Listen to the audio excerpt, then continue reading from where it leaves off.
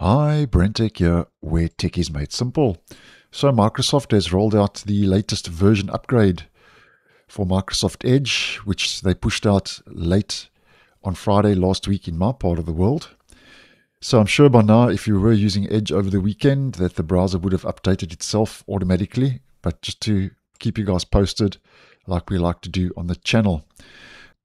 Now, after this latest update has been installed, Browser version in bold is sitting on 142.0.3595.53. Now, as always, first to just focus on the security fixes that have rolled out.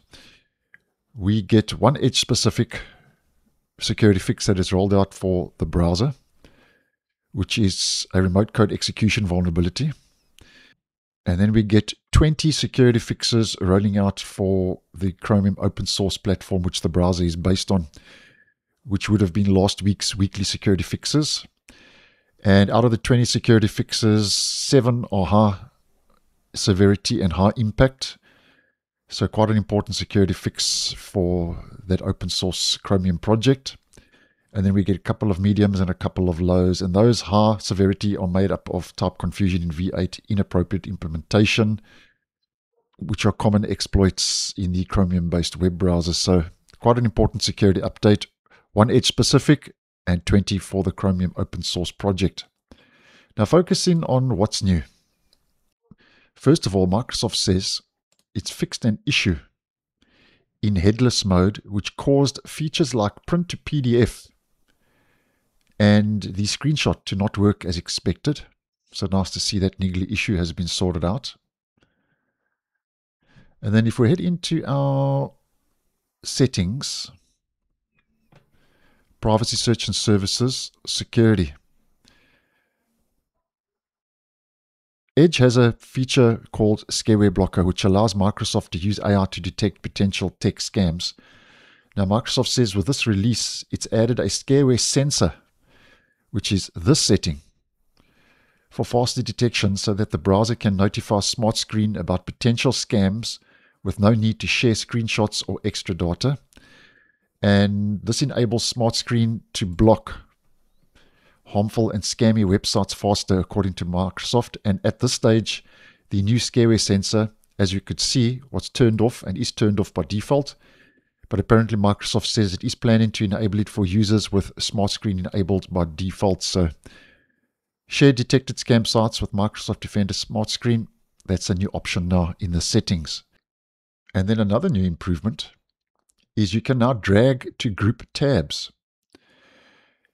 With Microsoft saying tab groupings can now be made by dragging a tab over another. So if we just show you that quickly, there we go, tab group created.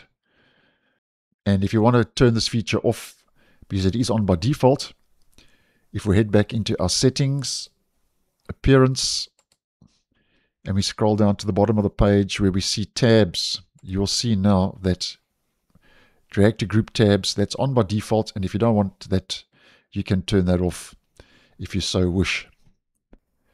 And then just to mention the next new feature, Microsoft says when Edge is set as the default browser to open external links from apps, Edge now must determine which profile to open the links.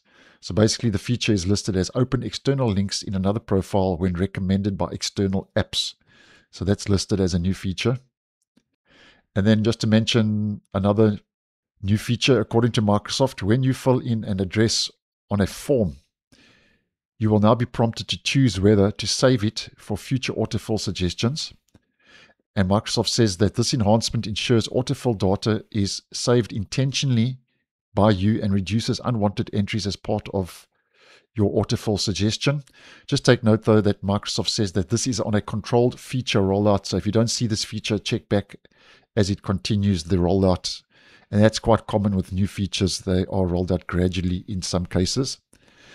So those are the official new features from the change log. There are some other under the hood treatments taking place for organizations and enterprises using Edge for Business. And something else I have noticed that wasn't mentioned in the change log is if we head back into our settings, and this time we head to AI innovations, and we toggle on Copilot mode, you will see now that that new tab page has the Copilot background and wallpaper, which I posted on when it was in preview just a couple of days ago. And this just used to be a dark black background. And yeah, we can see that it's got that floral design with a blue so-called scar that we get in the actual Copilot app. So that's also something I have noticed that has been made available with this latest version upgrade. So guys, that's more or less what's new. In Edge version 142, which rolled out late last week on Friday in my part of the world. So thanks for watching and I'll see you in the next one.